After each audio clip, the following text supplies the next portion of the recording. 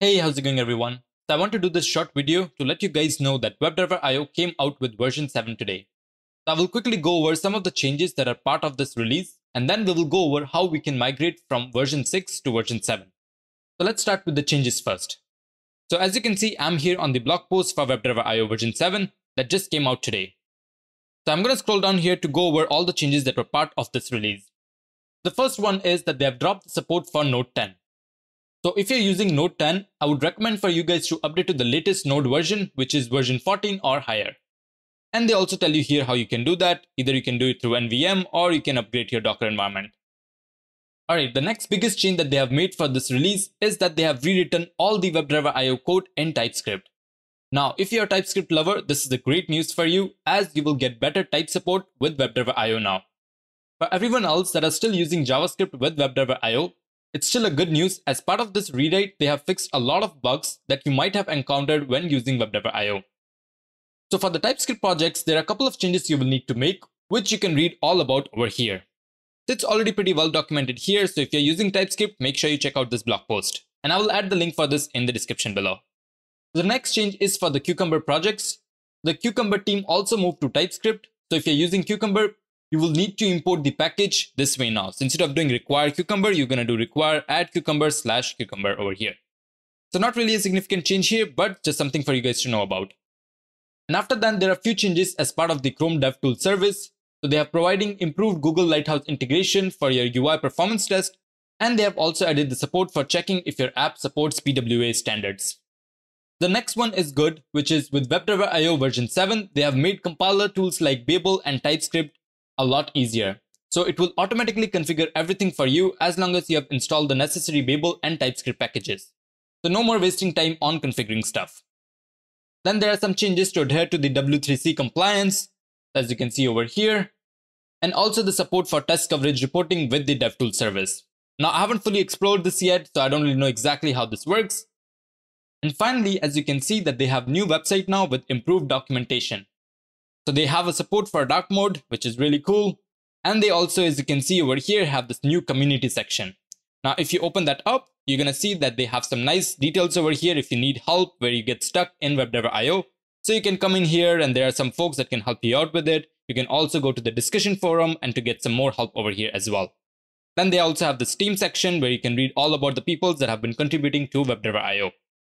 And also you can go to the resources section. So here you can read about WebDriver IO book, which was by Kevin Lamping over here, which is the web app testing guide book and some video courses along with my course here as well, which is WebDriver IO tutorial for beginners. And as a side note, thank you so much for all of you guys for watching and supporting my content. I really appreciate all of that. Alright, so now let's talk about the upgrade. So the good thing for the upgrade is that it's extremely easy and it should not break any code for you. So if you're using version 6 with JavaScript, everything should still work fine if when you upgrade to version 7. However, for the TypeScript folks, as I mentioned earlier, you might have to make few changes to get everything up and running. And you can read the blog post on that to get some more information. Now the tutorial series that I have built on WebDriver.io is using version 6. So you can still go ahead and continue to watch those as none of those have been changed. So you will probably fit in one of these two scenarios. So either you're starting off with my new series. If that's the case, then you will have to install WebDriver IO and when you will do that, you will automatically get version 7. And then you can just continue on with watching rest of my videos. Or you might have already watched some of my videos and you're using version 6. In that case, you will have to upgrade to version 7, which I will show you how you can do that just now. So just so you know that you don't have to switch to version 7, but I would still recommend for you guys to do that as you will get access to all the new features as well as the bug fixes that have been done as part of v7. Alright, so let's get started with the upgrade. So over here, I've pulled up the project that I've created as part of my WebDriver IO tutorial series. So what I'm going to do is I'm going to open this package JSON and show you that the packages, that version that we have been using as part of this package JSON. So as you can see, everything over here related to WebDriver IO is on version 6. So you can see here our Allure Reporter, Browser Stack, CLI, Local Runner, Mocha Framework, and pretty much everything else is version 6. So what we need to do now is change all of this to version 7 and then try to run a test and see if it would still work for us. Now before I do that, I just want to quickly run this test to show you that everything is still working for this project. So I'm going to simply run my test. So I'm going to do this npx wdio and all I'm doing is just running one of the tests. If I just pull up my specs file, which is right here. So I'm just running the search file right here. So I can go to test So it's just gonna run this search.js file. So it's pretty straightforward. So I'm gonna hit enter over here to run that file and we will see if that will work for us or not. Alright, so as you can see, it ran the search.js file and our test successfully passed over here. So that's pretty awesome. So our current changes with version 6 is working successfully. So what we will do now is upgrade this to version 7 and then try to run our file again to see if something breaks or if we are able to upgrade this. So typically when you're upgrading a project, you're going to have to take a look at all the dependencies that you have in your project. Since this is a really small project, I know the dependencies that I'm using. So these are specific to Babel, WebDriver IO, and ChromeDriver and Chai. So here I'm fine with kind of going ahead and upgrading all of my packages to the latest version. So instead of going ahead and updating my package one by one, what I will do is instead use a really cool package. And let me just pull that up. And that one is npm check updates. So I found about this package recently. So what it does it, it goes ahead and checks if there are some existing packages that needs to get updated. And if there is some existing packages, it will show you over here. The red means that there's a major upgrade available.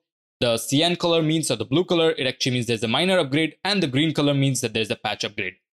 So we're going to take advantage of this and we will take a look at all the ones that we need to get updated and then we will finally do the update.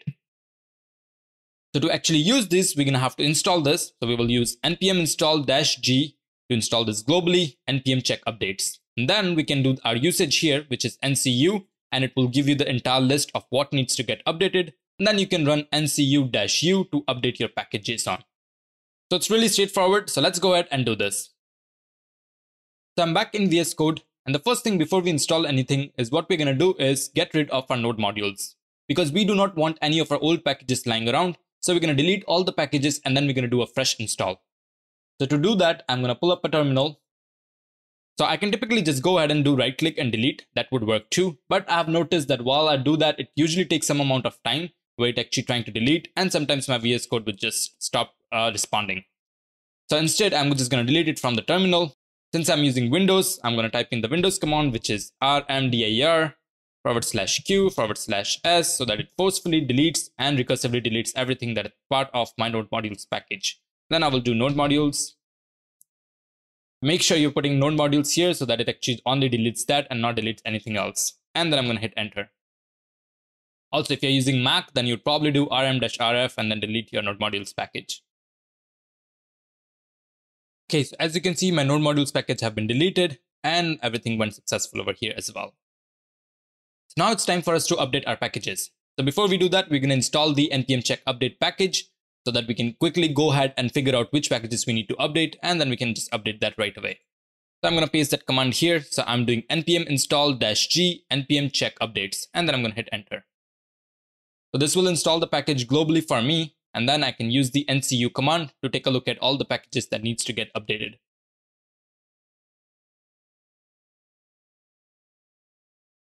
Alright, so our package has been installed now. And to use it, I'm just going to simply type in ncu which is the short command for npm check update, and I'm going to hit enter. So this will do an analysis on my existing package JSON, and it will tell me which packages do I need to update. So ideally, we should see something like for WebDriver IO, we need to update to version 7, and the same thing for the other packages as well. Alright, so it has generated this report for us, and I'm just going to move this up. So as you can see over here, the things that are in red, and which is basically all for WebDriver IO, it's telling me that these are all major versions that needs to get updated. Along with Chrome Driver, I was using 83, so it says it also needs to get updated to 88. And then I also see some Babel ones, which are small updates that needs to get done, which is fine. I will go ahead and update those two as well. All right, so these are all the versions that we need to get updated. So just imagine if you were doing this one by one, you're to have to continue updating all of that. But with this package, all we can do now is I'm just to do ncu dash u. What that will do is it will upgrade my package JSON. I'm just to move this down to show it to you. So right now, as you can see, all of this is version 6. So I'm to hit enter. Now, as you can see, all of them over here have been updated and it's version 7 or above. Now to actually install our package, I'm just going to do npm install, which will take forever to get all of this installed, but I will wait until all of this is installed and then I will be back.